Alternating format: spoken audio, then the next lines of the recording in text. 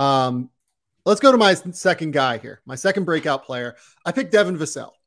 So I am a big, big Devin Vassell fan. I have been since pre-draft. Uh, he's just he's developed though into something a little bit different than what I thought he would be. Like I thought he'd be more traditional three and D. Uh, like I didn't really love him as a ball handler. I thought he had like kind of a high dribble at Florida State. He's really improved though. Like he has he the the wingspan number on him is not super long. Like I think it's like a six foot nine ish wingspan, but because he plays with such bend, he gets the ball low to the ground. And because of that, he's really been able to, I think, make some leaps as like an actual playmaker with the ball in his hands from time to time. And he can keep the ball a little bit tighter as a ball handler now than, you know, some of these other wings that you know, play a little bit more upright and struggle to kind of get by guys. And that bend also allows him to functionally kind of get the most out of his athleticism as a driver. Look, like I'm not sitting here saying Devin Vassell is like a 25 point per game scorer. I'm not saying he is like uh, some incredible all star level piece. But I think we see Devin Vassell average something like 16, 17 points a game, largely because of role. Shoots 37, 38% from three he's a really smart defender who gets his arms into passing lanes and just kind of makes things happen. I think he has a really killer year, and I think that we're looking at him and Keldon Johnson kind of as like the clear wing combo of the future in San Antonio, and one that maybe makes their future look a little bit brighter than you know what this season's record will look like. Yeah, I, I love the mention of, of Vassell. And it's it's funny too, because even like last year, like he's almost the guy that I feel like was there. I think it was if if Pop had been yeah. willing to give him a little bit more leeway, I think he's there. Um, I love what you mentioned about the bend because I think that's what always stands out to me the most about him. Like obviously his screen navigation um, on defense is impeccable, but I think like like you're mentioning, it's the screen navigation as a ball handler that's really impressive too. Like it's obviously not the same player, but he kind of has that same like I can't remember which somebody explained it to me as like frogginess and like talking about Bradley Beal. and I think Devin yeah, Vassell has that kind of same ability to just like be incredibly like limmy and uh and flexible laterally. And a lot of guys just have trouble keeping up with that because it's not very common.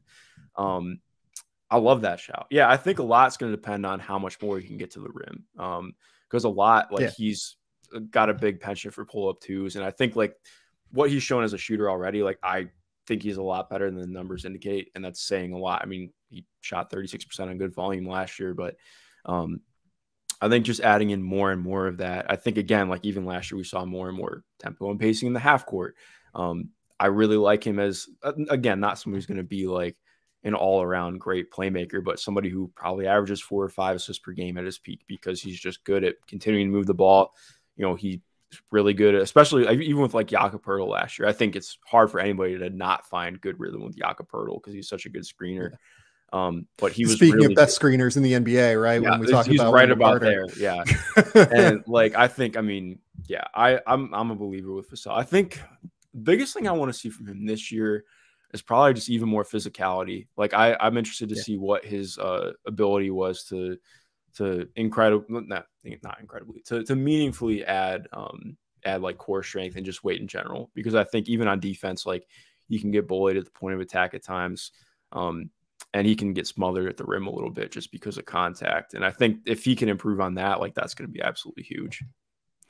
You got yelled at earlier this week by a lot of Spurs fans because yeah. the number one thing that you're interested in this year, I think you said something like, what do the Spurs look like? Or like, yeah. who are My the exact Spurs? quote was, "What the right? fuck are the San Antonio Spurs?" Yeah. And I meant that in a good way. Like I, like I yeah. look up and down this roster. I love what they have assembled. I have no idea how it all fits together. I have no idea what the hierarchy is. Like that's what's so interesting to me too. Because like last year it was clear. It's like okay, Definitely. this is Dejounte Murray's team. Um, this year, like, I, are we going to get a massive primo breakout? I probably wouldn't bank on that. I like Primo, but again, he's just so so raw. But um, like again, like I would definitely bet on the Vassell thing happening. Like we already saw what Keldon did last year, but he's going to be out for a little bit now.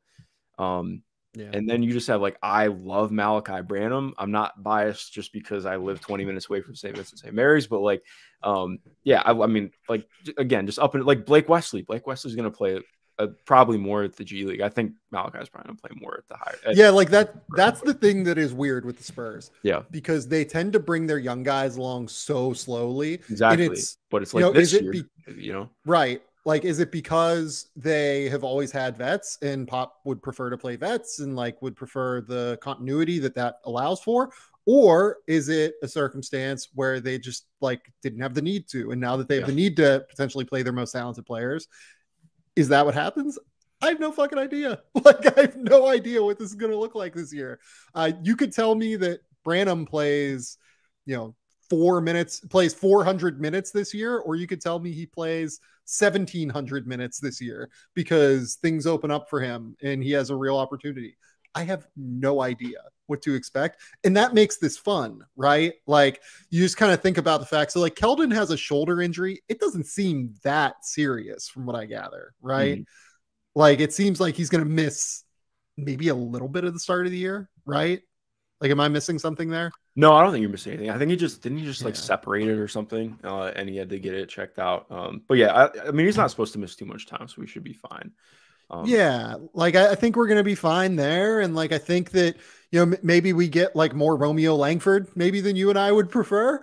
Uh, you know, maybe you get a little bit more. Uh, honestly, like I'm not real enthused about like rookie Blake Wesley experience uh, in the NBA. I think even I mean even Branham too, because like Branham's tough because like yeah. I think he's gonna have like a and I I love Malaki, but like his defense was was pretty rough last really year. Really bad. Really, um, really bad. And it, he's gonna, I mean, even watching it, I mean, it was it was very much like watching young DeMar DeRozan in some ways. Uh, yeah. He's like he's gonna cook somebody in the mid range, and then he's gonna get his ass beat on the perimeter on the other end. Yeah. Um. So yeah, there there's there's just so much here, but also like I need to know how it all fits together because I have no idea right now. And like somebody in the comments mentioned Sochan, and like I like Jeremy Sochan a lot. I was like pretty surprised Spurs picked him because to me he's much more. Oh, like, really?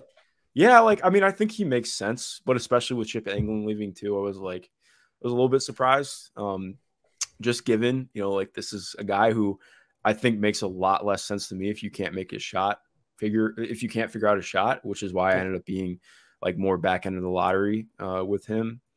But he's just really good at basketball, and the defense is really fun. It's like I don't know. I just look at this team, and there's so many guys who are um, weird off guards and like kind of smaller forwards, and they just I have no idea how it's all going to fit together, and I want to see it so bad. And I think I'm probably going to yeah. watch more Spurs game than just just about anybody this year. Yeah, like it's funny. Like I really strongly considered Tre Jones for this because yeah. I was like, okay, they need like an adult and someone who will organize them and like I at least know Tre will organize them and you know make them uh like look he can only do so much defensively being like a small point of attack defender but like he'll at least give effort and he'll make it a little bit harder for teams to get in and out of sets at the top. Like i don't know like if tre jones averaged you know 12 points seven assists and was like a good defender that wouldn't surprise me at all. Um i think he probably really establishes himself as like a real strong nba player this year. I really like Tre jones but i always have. I had him as like a top 20 guy pre-draft. Um I don't know. Like it's it, this is a weird team, and then there's like the Jakob Poeltl trade potential hanging over it. Do they keep Doug McDermott? Do they keep you know Josh Richards? Like I, I don't know. I, I, don't know what this team is going to look like. And I think that your question, what the fuck are the Spurs? Aptly put. But the thing that I feel most confident in is that Keldon Johnson, when he gets back, will probably average 20 points a game.